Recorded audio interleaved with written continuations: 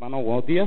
Testifico para glorificar y enaltecer el nombre de mi Padre Rey Celestial, que por medio de profecía me lo dijo cuando llegué a la iglesia, no creía de su poder.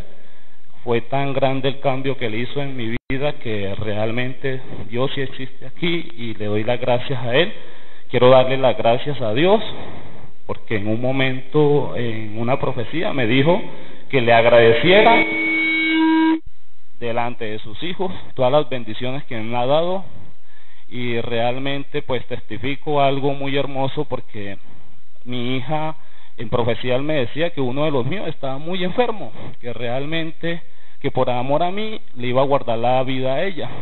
Fue así como mi hija le dio apendicitis, duró cinco días enferma, llorando en la casa, la llevamos al médico y nunca eh, los médicos le encontraban, le hacían exámenes y fue así que le consulté a un hermano que sabía más que yo, pues me dijo doble rodillas, órele a Dios y fue así como después de cuatro días mi hija estar llorando, los médicos le hacían exámenes, nada le encontraban, le hacían que era una virosis y nos regresaban con ella para la casa. Fue así como eh, ya pues desesperada mi esposa pues le dijo al médico que la viera porque nuestra hija se estaba muriendo.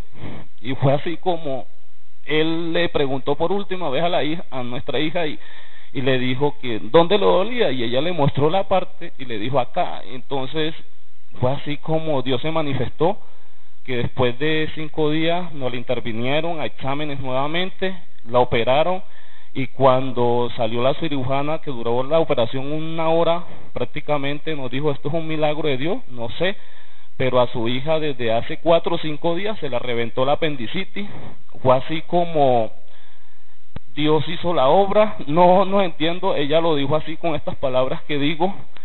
Llegó se le reventó la, la apendicitis y una tripita se le posesionó donde se le había reventado y no dejó que la infección se regara por el cuerpo. Todo esto lo testifico para glorificar y engrandecer el nombre de mi Padre Rey Celestial. Cuán grande y maravilloso es el nombre de nuestro Dios.